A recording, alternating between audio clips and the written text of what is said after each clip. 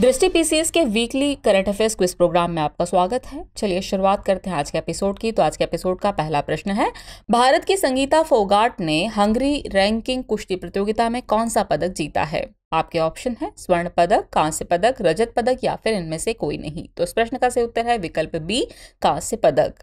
अगला प्रश्न है, हाल ही में किस देश के खिलाड़ी कार्लोस अल्करेज ने विंबलडन चैंपियनशिप 2023 में सर्बियाई खिलाड़ी नोवाक जोकोविच को हराकर इतिहास रच दिया है। आपके ऑप्शन है स्पेन, सर्बिया, पुर्तगाल या फिर फ्रांस। तो इस प्रश्न का सही उत्तर है विकल्प ए, स्पेन। अगला प्रश्न है, नेल्सन मंडेला अंतर्राष्ट्रीय दिवस का मनाया जाता है? आपके ऑप्शन है 17 जुलाई 18 जुलाई 19 जुलाई या फिर 20 जुलाई। तो इस प्रश्न का सही उत्तर है विकल्प बी 18 जुलाई। अगला प्रश्न है हाल ही में किस मंत्रालय ने आर्टिफिशियल इंटेलिजेंस पर एक निशुल्क ऑनलाइन प्रशिक्षण कार्यक्रम ए आई फॉर इंडिया 2.0 का शुभारंभ किया है? आपके ऑप्शन है कौशल विकास एवं उद्यमिता मंत्रालय, सामाजिक न्याय एवं अधिकारिता मंत्रालय, श्रम और रोज़गार मंत्रालय या फिर पंचायती राज मंत्रालय? तो इस प्रश्न का सही उत्तर है विकल्प ए, कौशल विकास एवं उद्यमिता मंत्रालय। नेक्स्ट क्वेश्चन है, निम्न में से किस मछली को मस्क्यूटो फ़िश कहा जाता है? आपके ऑप्शन है रोहू फ्लॉन्डर क्लोफिश या फिर गंबूसिया।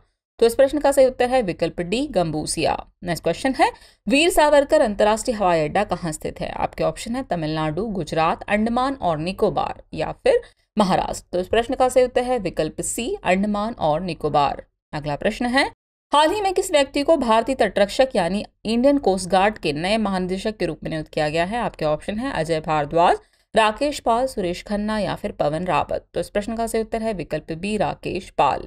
Next question है। फेस्टिवल ऑफ़ लाइब्रेरीज 2023 का आयोजन किस मंत्रालय द्वारा किया जाएगा? आपके ऑप्शन है शिक्षा मंत्रालय, सामाजिक न्याय एवं अधिकारिता मंत्रालय, संस्कृति मंत्रालय या फिर पृथ्वी विज्ञान मंत्रालय। तो इस प्रश्न का सही उत्तर है विकल्प सी, संस्कृति मंत्रालय।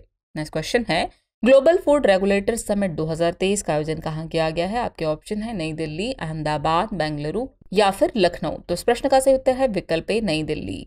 Next question है फीफा महिला विश्व कप का पहली बार आयोजन कब हुआ था? आपके ऑप्शन है 1985, 1991, 1995 या फिर 1999 तो इस प्रश्न का सही उत्तर है विकल्प बी 1991 और अंतिम प्रश्न है हाल ही में किस मंत्रालय ने गवर्नमेंट ई मार्केट प्लेस यानी जेम पोर्टल के माध्यम से खरीद के लिए बेस्ट एंगेजमेंट पुरस्कार जीता है? आपके ऑप्शन है खान मंत्रालय विद्युत मंत्रालय पत्तन पोत परिवहन और जलमार्ग मंत्रालय या फिर कोयला मंत्रालय। तो इस प्रश्न का सही उत्तर है विकल्प डी कोयला मंत्रालय।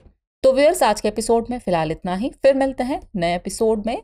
कुछ और नए सवालों और नई जानकारियों के साथ। तब तक के लिए शुक्रिया।